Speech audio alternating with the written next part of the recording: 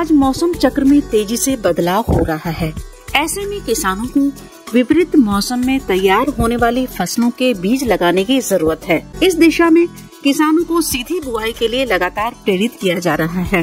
किसानों की आय दुगुनी हो, इसके लिए फ़सल की नई किस्म एवं नई बुआई की विधियों पर बढ़ावा दिया जा रहा है। जलवायु अनुकूल खेती ज़्यादा से ज़्यादा किसान करें, इसके लिए इन्हें प्रशिक्षण और परिभ्रमण कराया जा रहा है।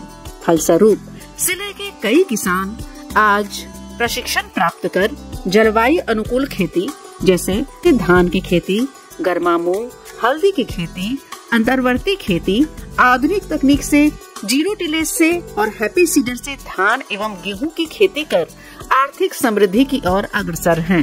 नाम मनीष कुमार झा ग्राम भागरथपुर पोस्ट जितवरिया थाना कल्याणपुर, जिला समस्तीपुर। जैसे अभी जलवायु परिवर्तन हो रहा है, उस हिसाब से जलवायु अनुकूल में जो है सो हम जो है सो जीरे टिलेज से खेती करते हैं। जो समय की बचत होती है, पानी की बचत होती है, सब कुछ का जो है सो उसमें बचत होता है। जब हम धान का जो है सो खेती ज़ीरो टिले से कर लेते हैं तो अगला फ़सल जो है वो समय पर होता है। जो गेहूँ समय पर हो जाता है, जो ये हम जो है सो दो चार साल से कर रहे हैं, और ये बहुत बढ़िया जो है सो हमको जो है सो लग रहा है, और लोगों को जो है सो प्रोत्साहन कर रहे हैं जो इसको अपनाए। ये जो गर्मा है, दलहन के लिए बहुत है, इससे हम दो तीन बार तुराई कर लेते हैं तो देसी मूंग है, और ये बहु उपयोगी क्रॉप इसलिए कि ग्रीन खाद के तौर पे इसको हम लोग देखते हैं।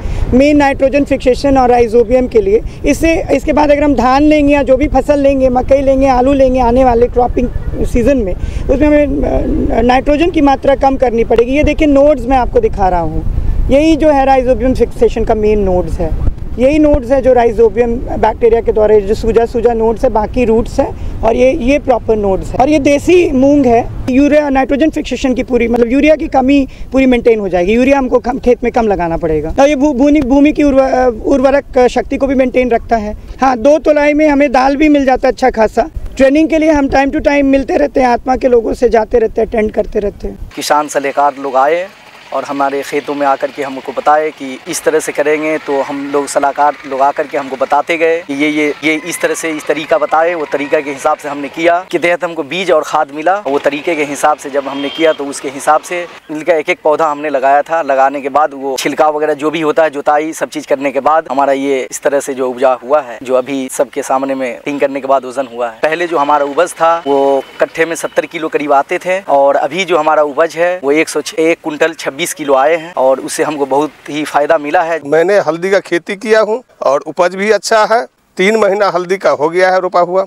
और दो महीने के बाद हल्दी कबड़ेगा ये हल्दी का खेती से बहुत फ़ायदा है। इसमें जो है कि नहीं सो इल्ड जो आता है कि नहीं से कम से कम आवेगा तो पाँच छः कुंटल के कट्ठा आता है इल्ड और जब इसको हम लोग कच्चा भाव बेचते हैं तो कम मिलेगा लेकिन सुखा करके इसको जब तैयार माल बेचेंगे तो अधिक फ़ायदा। तो इसमें बेनिफिट है किसान लोगों को जो चार कुंटल पाँच कुंटल कच्चा माल में एक कुंटल सोट होता है। बीज उपचार करके लगाए थे। नहीं हल्दी को बेचने के लिए बाज़ार में कोई दिक्कत नहीं है। कच्चा भी माल बिकता है और सूखा हुआ माल राज्य में बाढ़ और सुखाड़ की स्थिति हमेशा बनी रहती है।